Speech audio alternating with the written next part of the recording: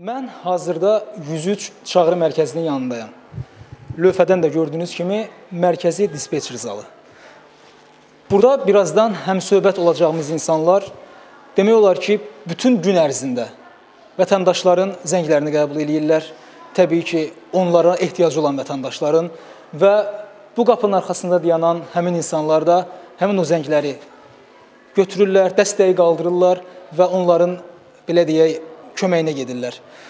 2020-ci il e, ən çox da həkimlər üçün çətin il oldu. Bilirsiniz, koronavirus pandemiyası insanları e, bütün dünyada ümumiyyətlə lərziyə saldı və elə həkimlərin öz öhdəliyinə çox böyük bir iş düşdü. Biz də 2020-ci ilin son gününü, artıq e, saat 12-ni keçirib 2021-ci ilə daxil olmuşuq. Elə biz istədik ki, bu gün həmin bu insanlarla həm söhbət olaq, onların bu gün üçün əslində digər günlərdən fərqi varmı, yoxmu, onlarla maraqlanaq. Elə bu dəqiqədə içəri daxil oluruq və sizə onları göstəririk. Həmin tibb işçiləri ilə söhbətləşdim. Suallarımı onlara ünvanladım.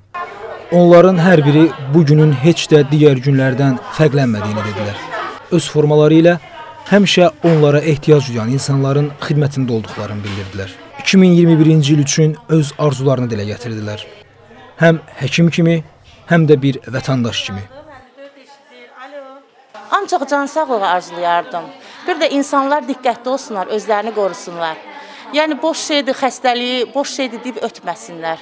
Özlərinə görə, bir də ətrafdakılarına görə diqqətli olsunlar. Çünki bir özləri xəstələnsələr, hardasa 6-7 nəfər də nəzərdə tutulur. Çünki infeksiya, virus yayıla bilər.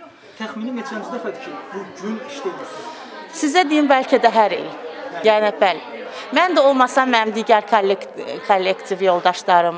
Mütləq biz bu 12-sindən nə bilim 12-si, 1-i, 300 ancaq elə çağırış götürürük, xalqa xidmət eləyirik. Əslində 31 dekabr, 8 mart və başqa bayram günləri, yəni bu təqvimlərin bizim üçün başqa günlərdən heç bir fərqi yoxdur. Yəni biz adi günlərdə necə e, tibbi geyim forma əynimizdə e, iş başındayıq, xalqın xidmətindəyik. Bu günlərdə elə həmin iş rejimi ilə işləyirik.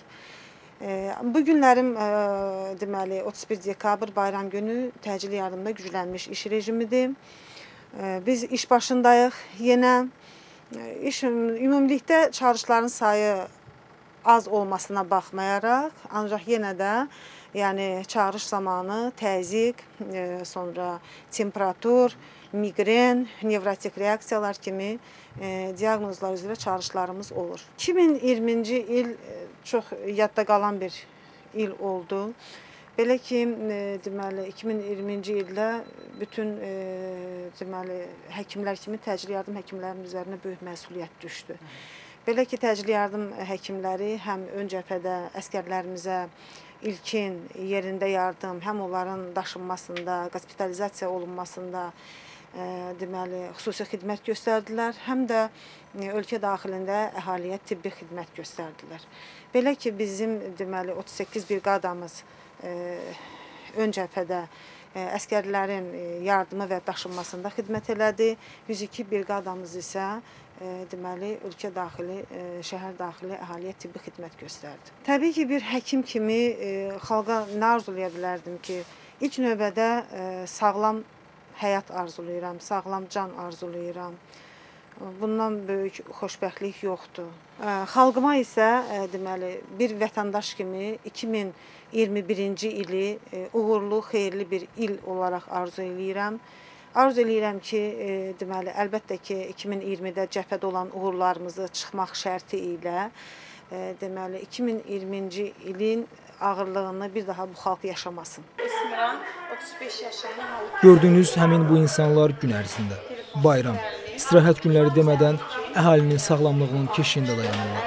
Təcili tibbi yardım işçiləri onlara gələn hər zəng üçün elə zəng edənlər qədər həyəcan keçirirlər. Hər kəsin köməyinə gedir hər kəsə öz yardımlarını göstərirlər. Təbii fəlakətlər, bayram şənlikləri, xalqın şad və ağır günlərində daima əhali ilə sıx qarşılıqlı münasibətdə olaraq vəzifə borclarını yerinə yetirirlər. Təcili, təxirə salmadan və ilk tibbi yardımı göstərərək.